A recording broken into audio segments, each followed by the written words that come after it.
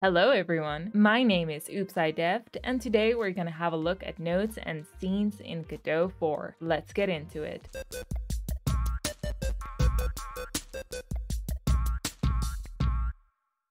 Okay, so first things first, what even is a scene? A scene in Godot is the main holder or container for nodes, and nodes are the main building blocks of your game. Let's look at a diagram that will help us further elaborate on the difference between a scene and a node. As we can see, the triangle represents a scene that I called the player scene. We will have a look at what the structure will look like in Godot in a second, but let's talk about this triangle first. Inside of this triangle are many nodes, represented by squares, and these nodes are organized into a thing that we like to call a scene tree, or simply a scene. Different nodes have different functions. For example, a character body 2D node, which is used in 2D games, is a node used for game characters that can be moved around or even controlled by the player, whilst the static body 2D node is the opposite, as it is a static node, meaning it doesn't move move around, making it useful for static items such as floors, walls, or even pickup items. Since different nodes have different functions, combining them into a singular scene allows us to create components for our game with more complex functions. You can always see the full list of nodes in the documentation. The link will be in the description box below. The nodes in our scene tree, the triangle, all have their own functions and therefore their own classes which they will inherit from. If you are unfamiliar with GDScript programming or just programming terms in general, I highly recommend that you go and do the gamified course Learn GDScript from Zero by GDQuest to get the fundamentals of GDScript under your belt. You can also find the link to that in the description box below. Every scene has to have a root node. The root node is the main node, which tells us what the scene's purpose is, or it can just act as a container for your game window.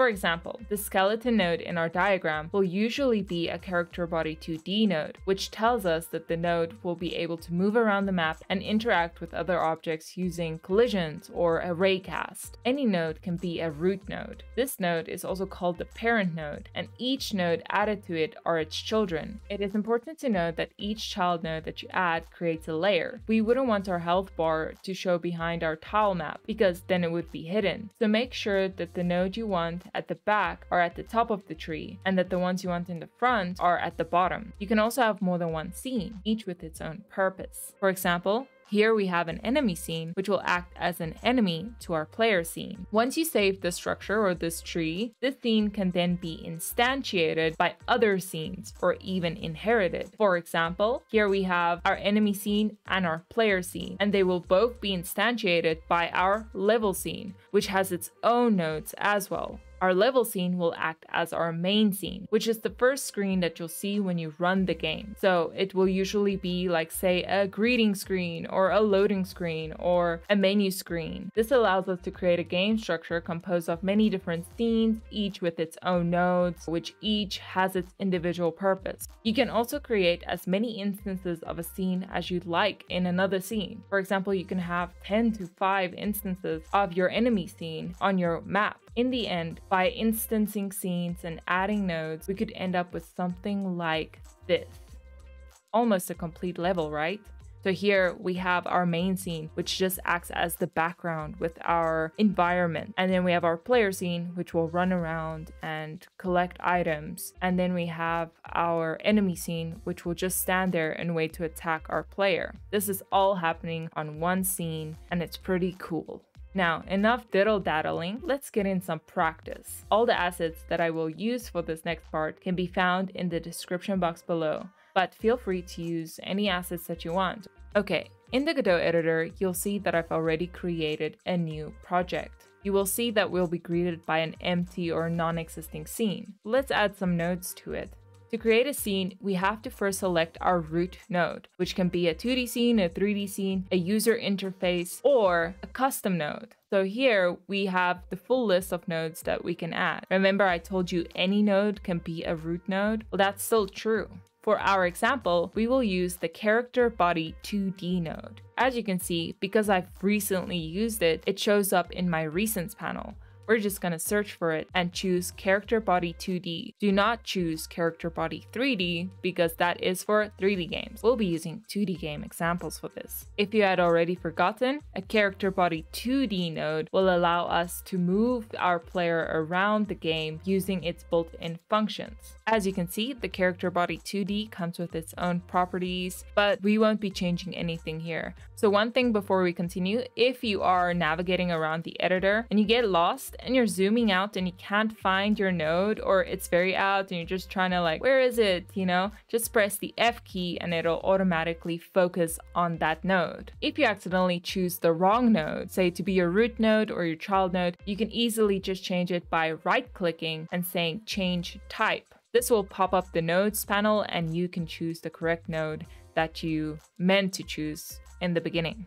You'll notice a little triangle show up next to your node. This says that the node has no shape, so it can't collide or interact with other objects. This means that we need to add a collision body 2D node. So go into your nodes panel and select collision shape 2D. This will allow our character to collide with other scene bodies or areas so that they cannot run through them or so that they can trigger events to occur. You'll see another error pops up because it doesn't have a shape. You need to give your collision body a shape and you can do that in the properties panel. Just click on empty and say new shape. So this can be any type of shape. For us, we're just going to choose the circle shape for now. You can now see that all of our errors have disappeared. You're probably wondering, we have our character, but I cannot see my character. Well, for that, we need another node. You can choose between two nodes the sprite node or the animated sprite. The sprite node is a static image, it will not move. So if you have, say, a book that you want your character to pick up, you'll use the sprite node. You can add animations to it using the animation player, but for ease of just tutorial sake, we're gonna go with the animation sprite. An animated sprite 2D is a node that displays a 2D texture or an image of our sprite that can also handle animation frames frame by frame. With your animated sprite added, you'll see an error pop up again. This means that we need to add an animation to it. Yet again, head on over into the Properties panel and select New Sprite Frames. You will then need to click on the Sprite Frames panel so that the Animations pane at the bottom can pop up. You can see we have a default animation here. I go into a little bit more detail into animated sprites and the animation player in another video. To add animations, we also need to bring in our assets. So to do that, you can just drag in your downloaded assets into your file system panel over here. Once it's finished importing, I want to show you something. If we drag in one of our sprite frames, see it's super blurry. To fix this, it's quite easy. You'll have to go into Project, Project Settings, go into Rendering underneath Textures, and change the default texture filter from Linear to Nearest. As you can see, there is an instant improvement in the quality of our graphics. Back to our animation. Let's add a idle animation. To add the animation, you'll have to click on Add Frames from Sprite Sheet. Then head on into your Assets folder, or wherever you stored your character's sprite sheets and select it. To zoom in and out, you can just hold down Control on your keyboard and zoom with your mouse wheel. You'll see we'll have to choose the frames here. Vertical, we want this whole image to show, so we'll bring that down to 1. Horizontally, we'll move it to 7 so that we can frame each individual frame one by one. For idle, we'll only need the first frame. Then, let's add a run animation. To add the run animations, we'll do the same. And now select each and every frame in order. You can turn auto loop off or leave it on. We need one last node for our player scene, and that is a camera 2D node.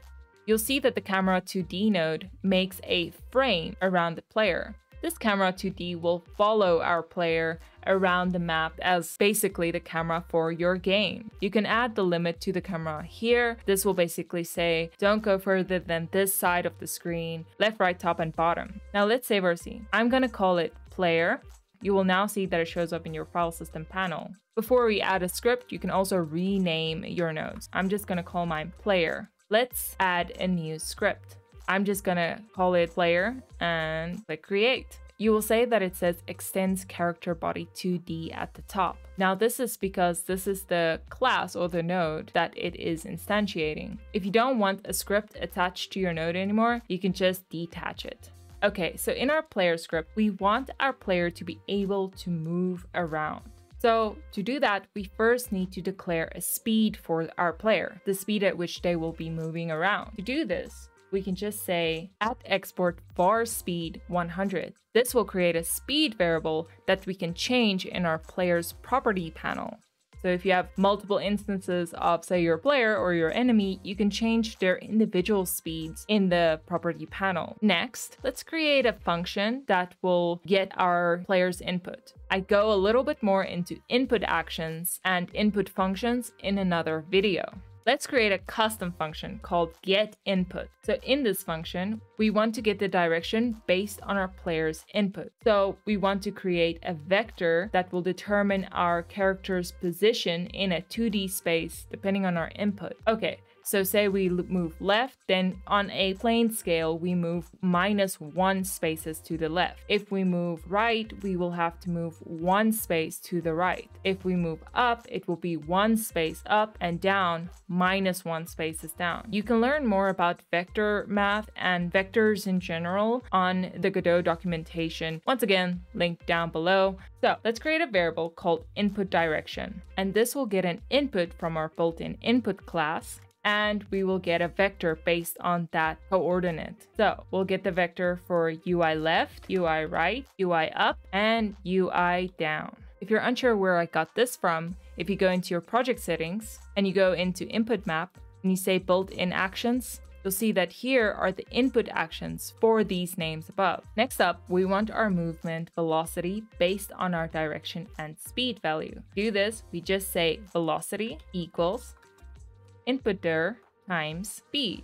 I'm just quickly going to add comments here so you can understand. Finally, we want to add our movement animations that we just created in our animated sprite 2D. To do this, we'll use our input class once again. If input.isActionPressed UI up, then we'll drag in our animated sprite, or you can just say dollar sign animated sprite dot play, and then you choose the animation. So when our character runs up, down, left, and right, we want them to run. Let's just copy this piece and say elif, which is else if, paste. Now we want it to be down. It'll also play the run animation. We'll do it two more times. And just say left and right. I'm just to copy from the words above. So now when we press up, down, left, or right on our keyboard, the animation run will play. If we aren't pressing this though, we want our idle animation to play. So we could just say else animated sprite 2D dot play idle. Now we have our movement, our speed, and our animation set up. Now we just need to call it when we run our game.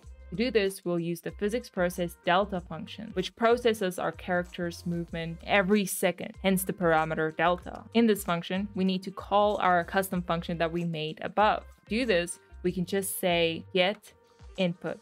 We also now finally need to tell our character to move. And for that, we'll use the move and collide function. We'll say velocity times delta. So it'll constantly move our character in the direction that we've typed in every second. So it's constantly going to move our character around if we tell it to move around. So in the end, this is what our player script will look like. I'd recommend that you go and have a read at Godot's movement tutorial for both 2D and 3D games as they show you various different ways of moving around. Now we want to actually see our player running around our map and to do this, we'll create another scene. To create another scene, you can either right click in your file system panel and select new scene, or you can just click on the plus icon above to add a new scene. For this, we'll just create a 2D scene as the root. If you click on it, a node 2D node will be made your new root node. Now, the node 2D node is the base node for 2D games. Let's save this as main. Now we have two scenes, the, the .tscn extensions in our game. Let's add a child node to it of type tilemap. This will allow us to create 2D tile-based maps. To create a tile map, just go into its properties and click on tile set new. I also do a whole other video on this on its own, so don't get too caught up in this right now. We'll just click on tile set, go into our assets folder, bring in our atlas, say yes because it will create grids, and now we can actually draw our map.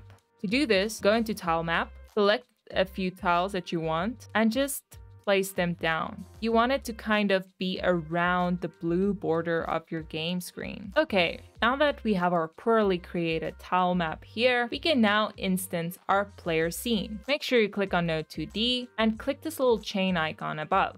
You can now instance your player scene that you've created. You can move this player scene around, placing it wherever you want. I'm just going to put it in the middle. To make it full screen, just go into Project Settings, Window Mode, and select Full Screen and now we can run our scene. Do this by clicking the play button. It'll tell you that you haven't selected a main scene. We're just gonna select our current one, which is the main scene, but you can always change this in the run options in your project settings. As you can see, now we have a character in our main scene, our game is running, and we can actually move around. I mean, our map is pretty bad, but you know, that's for another tutorial. I hope this video helped you get a basic understanding of scenes and nodes in Godot 4. While this video was not an in-depth look at all the nodes offered by Godot 4, I recommend you go and play around and experiment with the scenes and nodes in your Godot editor itself, and also have a look at the documentation. This is the only way that you'll get familiar with the different nodes and the difference between a node and a scene, and start getting comfortable with it. I hope you enjoyed this video, and if you did, don't forget to give it a thumbs up and subscribe if you'd like. Until next time, bye!